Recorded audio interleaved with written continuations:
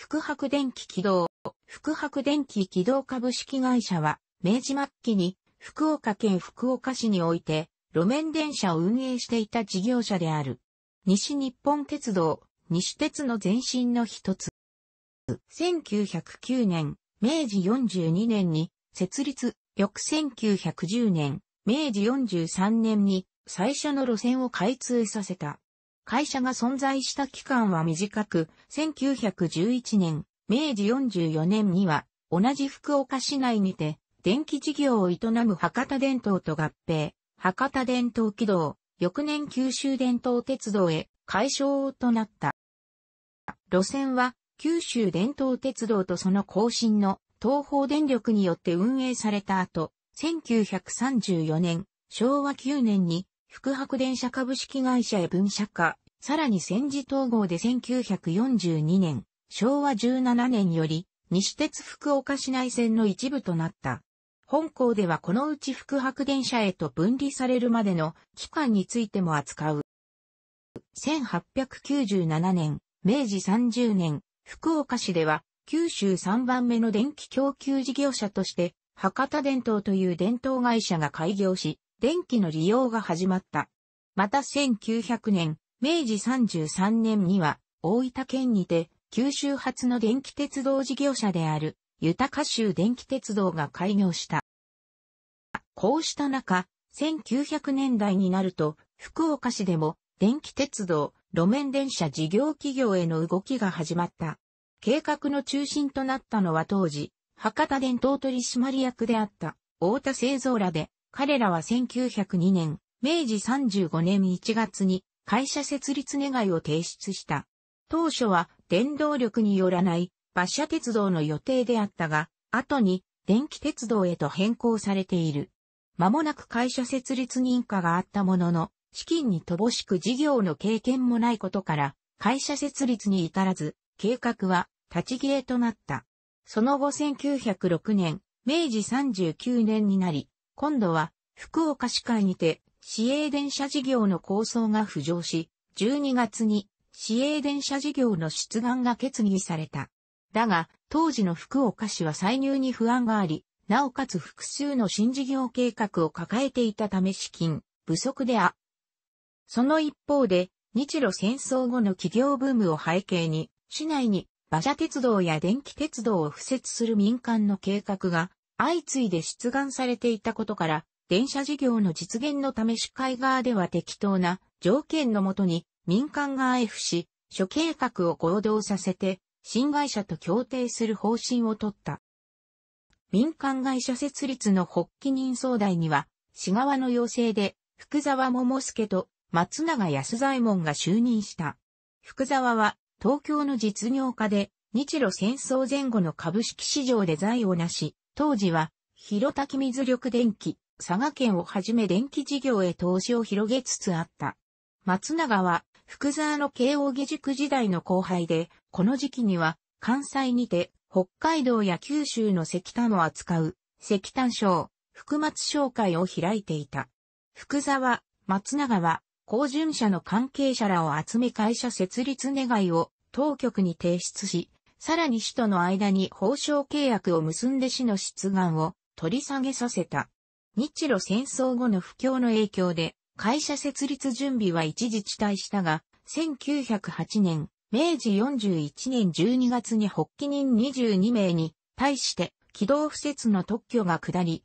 翌1909年、明治42年になって準備が整うに至る。そして同年8月31日、福白電気軌道株式会社の創立総会が開かれ会社が成立した。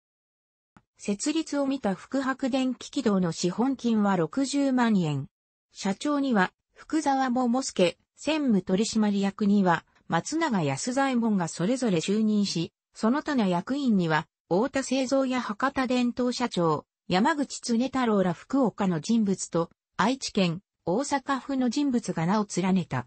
このうち会社を主導するのは、松永で、以後1920年代に入るまで福岡を拠点とすることとなった。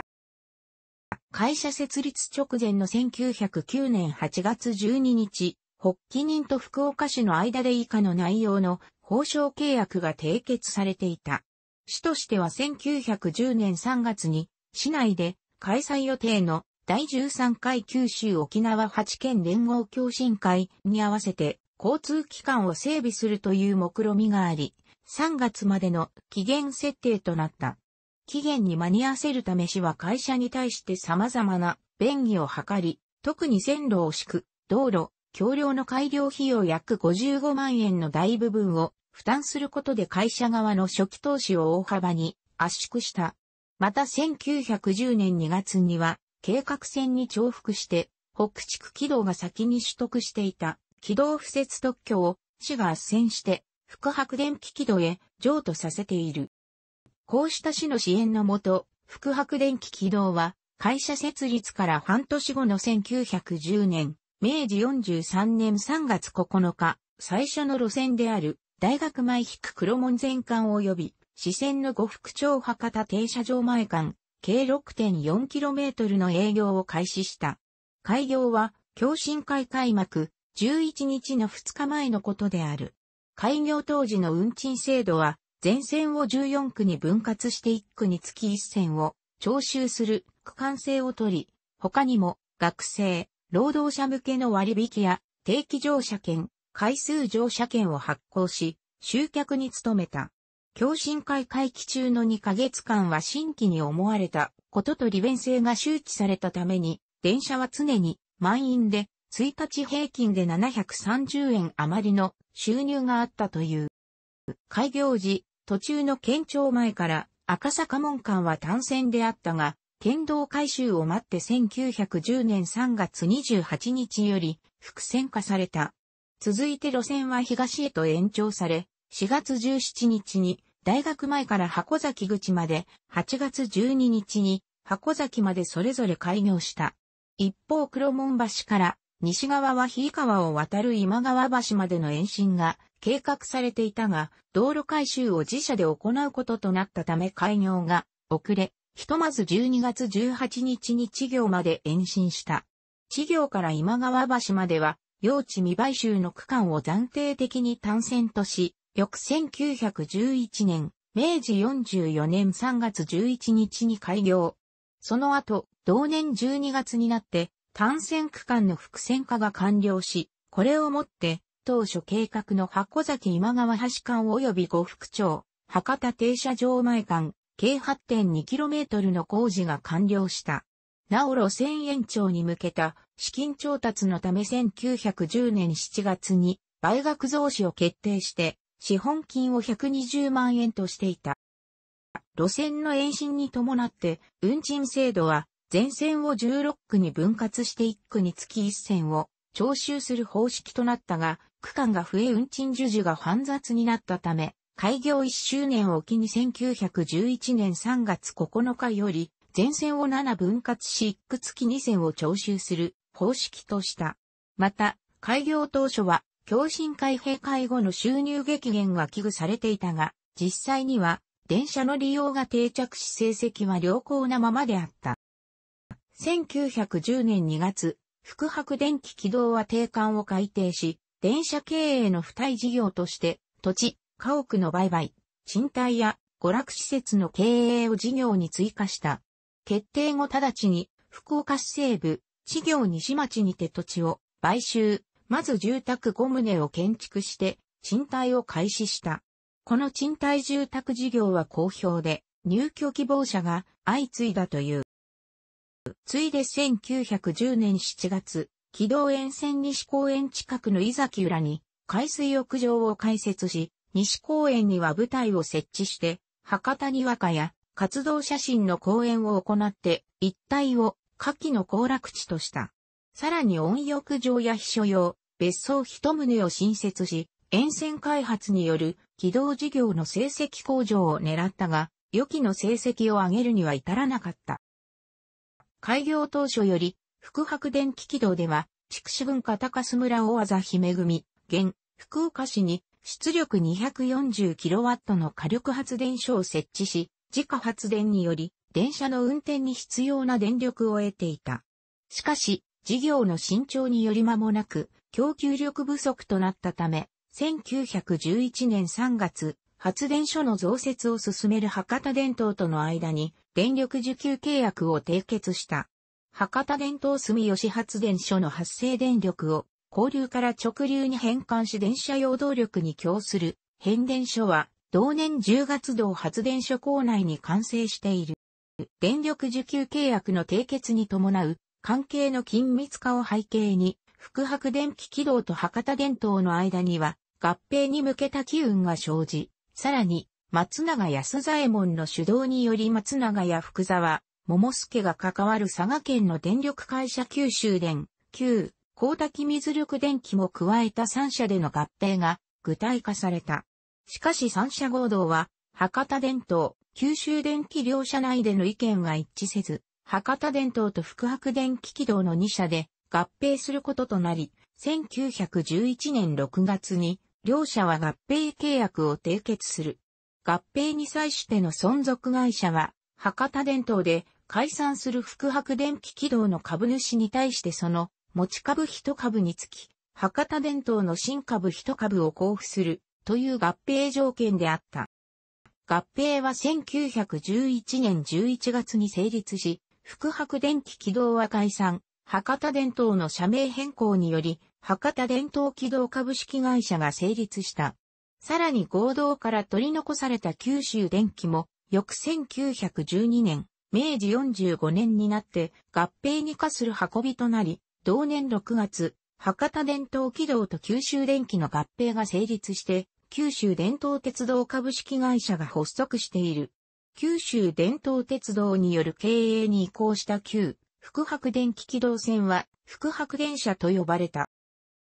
福白電気軌道に対する軌道を不設特許から半年経った1909年7月、加保郡の坂口久志らに対して福岡市とその周辺における軌道不設特許が降りた。翌1910年3月、大田製造や渡辺与八郎、麻生多吉といった有力実業家を発起人に加えて、博多電気軌道、初代が発足。同社は、福岡市の市街地外苑を循環する環状線と吉塚駅への連絡線の建設を計し、1911年10月から順次路線を建設していった。福白電車は、この博多電気軌道線と水茶屋、天神町、博多駅前の3カ所にて線路が交差することとなった。また、博多電気軌道は1910年10月に、北畜軌道という軌道事業者を合併し、非電化系弁軌道線を引き継いだ。北畜軌道線の起点は日井川に架かる今川橋の西側で、橋の東側を終点、今川橋停留場とする福白電車と接続していた。このため、東西二つの博多電気軌道の路線の間を福白電車がつなぐ形となっていた。この博多電気軌道は電気供給事業の経営を試み、福岡市とその周辺町村に対する供給権を取得していた。このため、福岡市を地盤とする博多電灯改め、九州電灯鉄道では、供給事業での競争を防ぐべく広電気軌道の合併を目指すに至る。合併交渉は、博多伝統軌道時代の1912年2月より始められたが、九州伝統鉄道側が途中で合併条件を引き下げた博多電気軌道の財務状態が良好でないのを懸念していたとされるために交渉は難航し、7月になっても決着しなかった。こうした膠着状態を見て、九州水力電気が博多電気軌道の合併に動き出す。同社は1911年4月に設立されたばかりの電力会社で、当時筑後川水系にて大規模水力発電所を建設中であった。九州水力電気では、博多電気軌道に対し、九州電東鉄道が提示するよりも有利な条件を示して合併を勧誘。九州水力電気の提案に応じた博多電気、軌道は7月17日に役員会を開き、九州水力電気への合併を決めた。19日になって、麻生多吉の調停により本位指導者は、九州伝統鉄道と合併仮契約を締結するが、翌日大株主会が九州水力電気との合併を主張したためこの契約をすぐ撤回。改めて九州水力電機との合併仮契約を締結した。8月9日の株主総会で九州水力電機との合併契約は承認され、その後九州電東鉄道による合併決議無効訴訟などの妨害があったものの、1911年11月4日に九州水力電機と博多電気軌道の合併が完了した。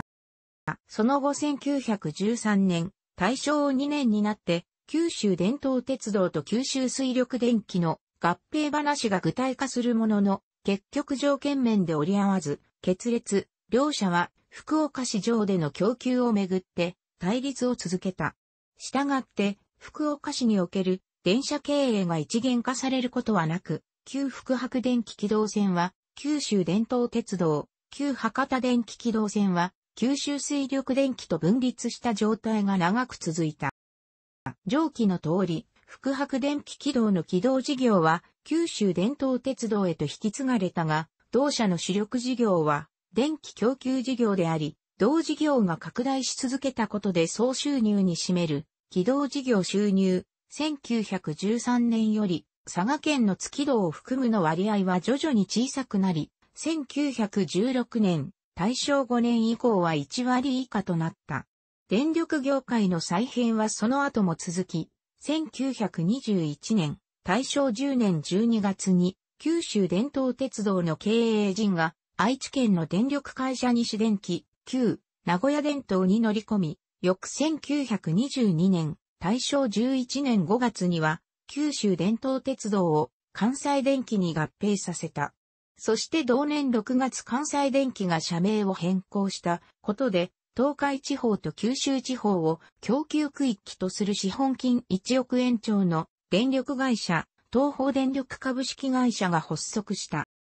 九州伝統鉄道時代の福白電車は乗客数が著しく増加しており、年間乗客数は1915年度、大正4年度に1000万人を突破し、その後も伸び続けて1919年度、大正8年度には2000万人に達し、1921年度、大正10年度には3000万人となっている。この間の1921年6月5日、箱崎から東へ、工科大学前までの路線延伸区間約750メートルが営業を開始した。東方電力時代になると、乗客数の伸びは停滞し、景気の変動に連動して年間3000万人前後で推移した。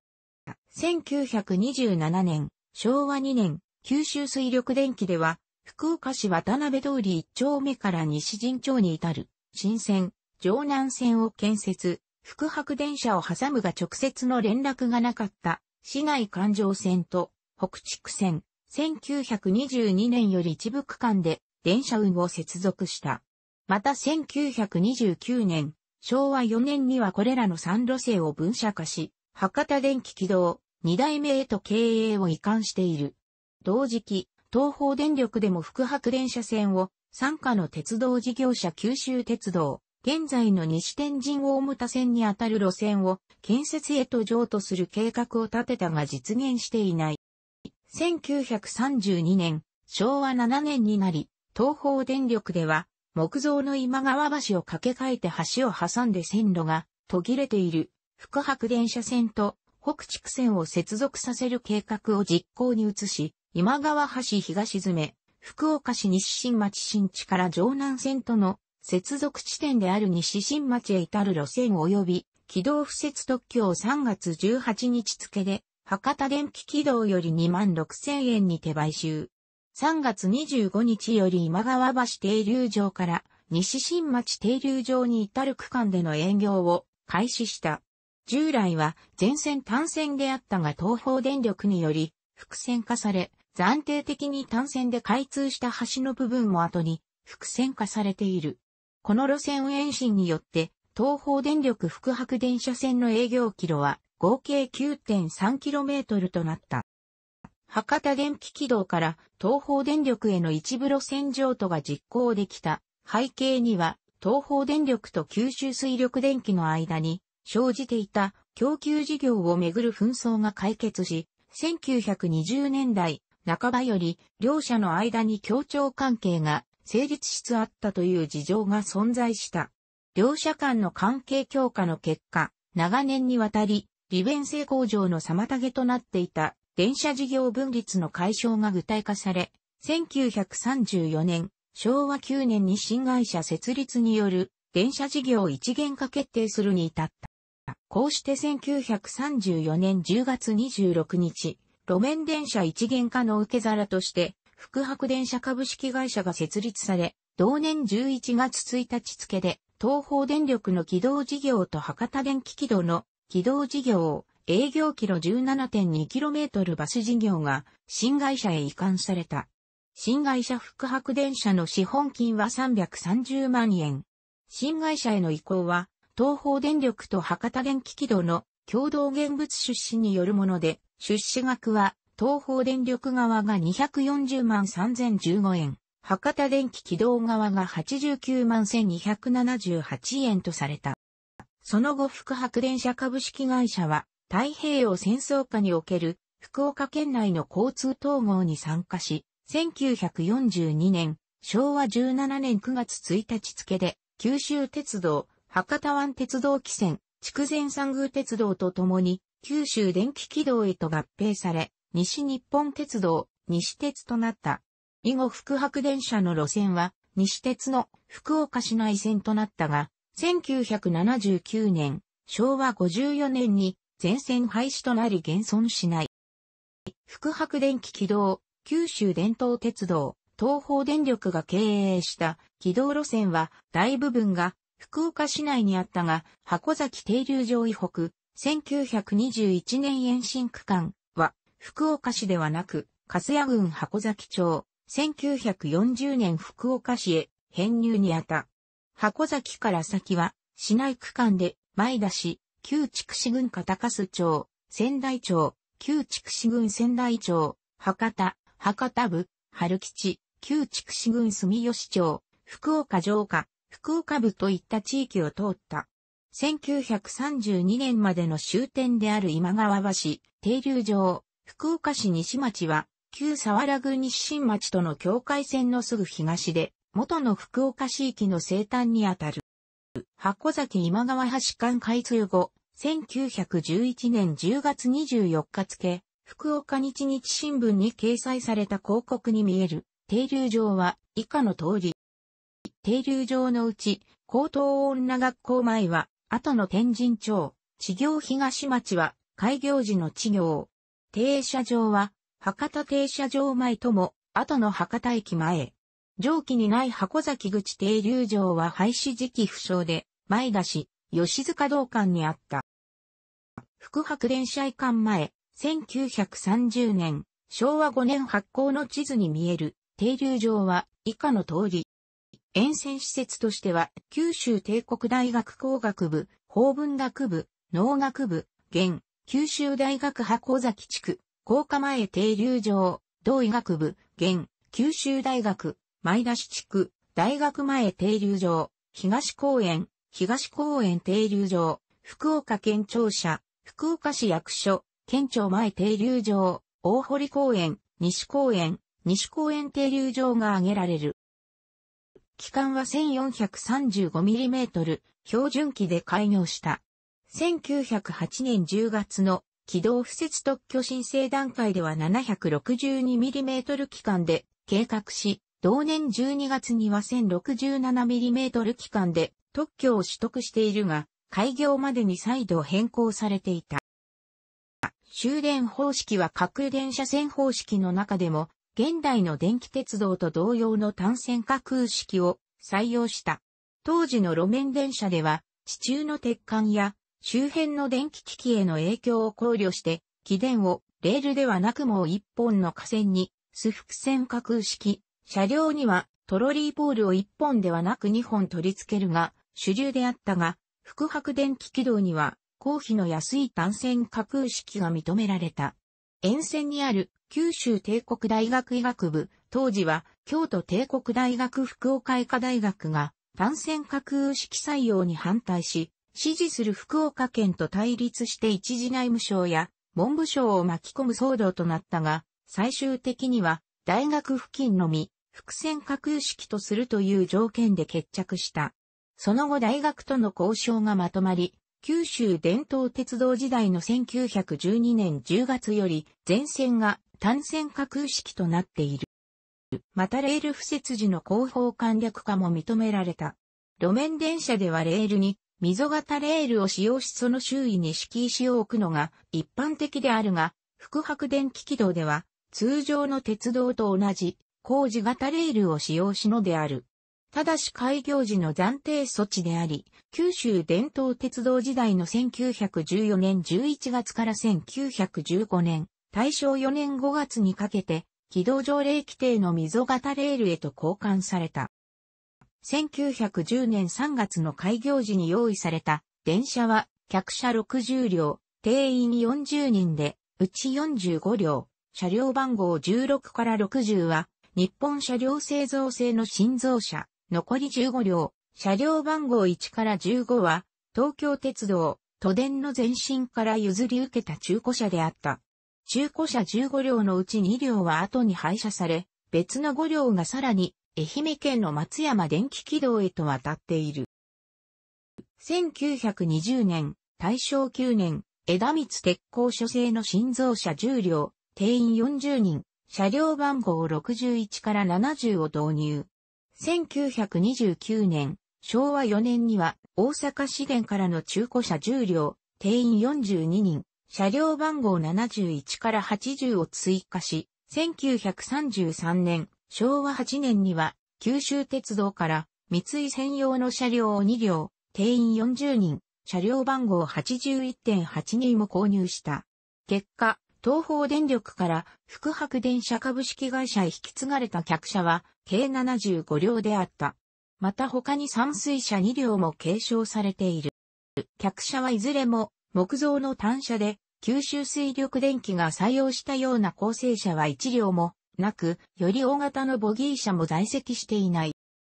これらの車両は西鉄となった後、ボギー車への置き換えに伴い、博多電気軌道引き継ぎの単車と合わせて1954年、昭和29年までにすべて廃車となっている。楽しくご覧になりましたら、購読と良いです。クリックしてください。